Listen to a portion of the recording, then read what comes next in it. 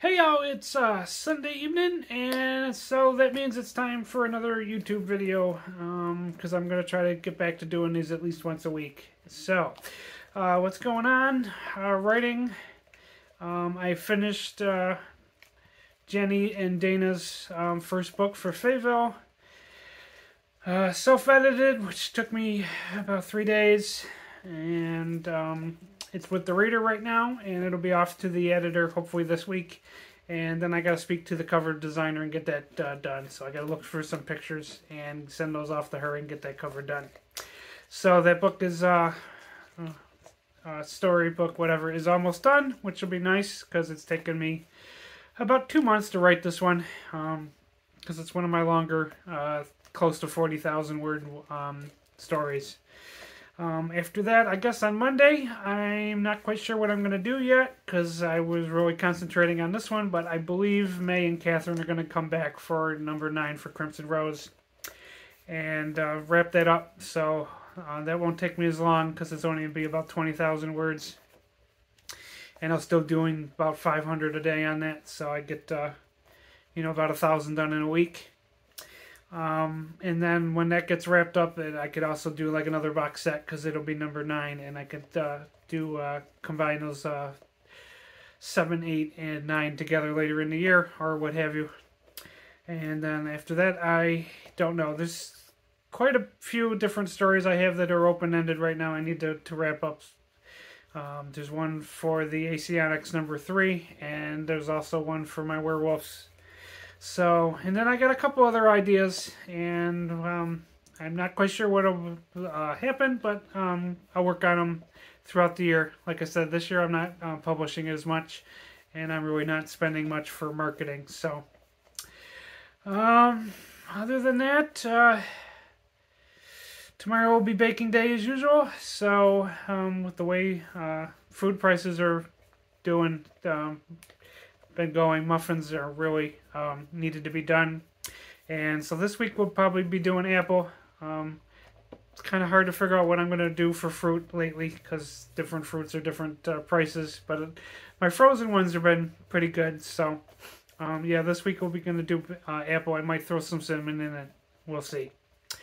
Uh, other than that, uh, I've still been doing my deliveries um, from Wednesday to Sunday, which I just finished a little while ago to make my about 300 hours a week. And um, that's helping me pay off my car, which is, uh, I'm going to hopefully pay off early.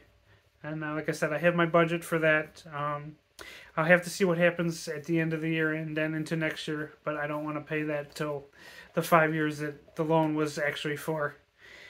And uh, my investing is ongoing still. Um, my uh, IRA, which I started last year for Acorns, is getting closer to a thousand dollars in it, which is nice. Um, uh, I want to throw a little bit more money into that, hopefully, because um, the market kind of went down and uh, I lost quite a bit of money for the last couple months on that, so I want to balance that out. Um, with the other part of Acorns because they do like two two things that you can do. Um, one is like a, an investment thing, and then they do the uh, like the IRA part. So I want to keep those kind of uh, balanced. And then my brokerage account for Republic um, this week will get me to about twenty four to twenty five hundred. Um, finally, uh, this week it actually went up, uh, so I didn't have a like any red days, which would be which was nice. Um, the last like five months of the year has just been kind of depressing watching um, all of the stocks that I purchased go down. But I'm still gonna do my dollar cost averaging, which is put a hundred dollars in. And then uh, the other day I made like a, a database um, of everything that I want to put in for the rest of the year.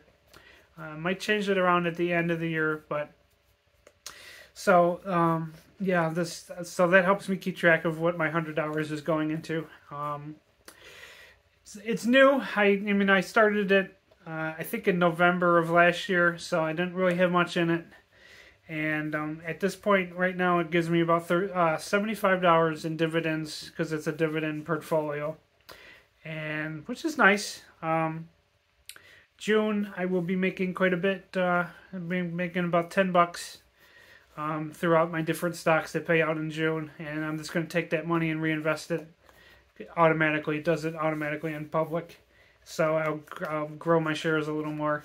So things are going well with that. Um, it'll be nice uh, actually when it gets you know higher and um, I get more of my dividends. But um, you know, for somebody who really didn't have any income for the last 35 years or so and couldn't do any investing and stuff like that, that's uh, kind of nice to have and rely on that. So it'll be nice when it um, keeps going up and my dividends keep growing.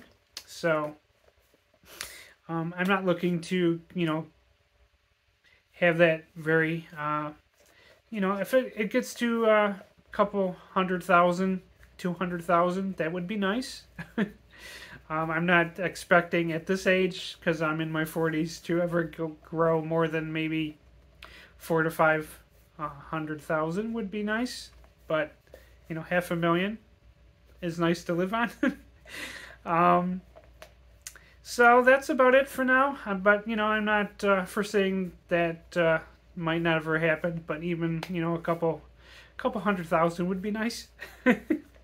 um, it'll sure ease my burden of not worrying about uh, where my money and what can I pay and what can't I pay, because you know my kidney disease has really screwed that up all of the years, and unfortunately, um, until I learned that I can actually you know save money, I didn't uh, keep anything. So if I knew that years ago, what I knew uh, last year when I made my book money and hit 2000 because the government won't allow you to have more than 2000 I would have invested, you know, maybe 5 or 10 dollars a week. But I'm making up for that now, so that's good.